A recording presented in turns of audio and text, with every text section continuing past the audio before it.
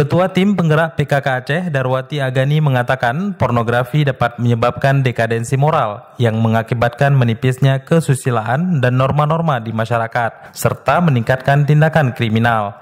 Pornografi juga bisa mendorong seseorang melakukan perilaku seksual menyimpang. Penegasan tersebut disampaikan oleh Ketua Tim Penggerak PKK Aceh Darwati Agani dalam sambutannya saat membuka secara resmi rapat koordinasi pencegahan dan penanganan pornografi yang digagas oleh Dinas Pemberdayaan Perempuan dan Perlindungan Anak di Hotel Mekah Selasa 28 November 2017.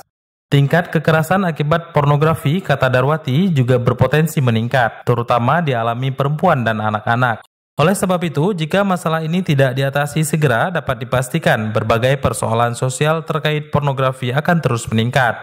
Darwati meyakini era globalisasi dan kemajuan teknologi informasi merupakan pemicu utama meningkatnya kegiatan pornografi di tengah masyarakat. Hal ini dapat dilihat bagaimana mudahnya masyarakat mengakses pornografi melalui berbagai website yang ada. Pada kesempatan tersebut, Darwati berpesan agar keluarga, orang tua, lembaga pendidikan, ulama, dan lingkungan harus mengambil peran sebagai benteng dalam menjaga dan mengawasi moral generasi muda dan masyarakat.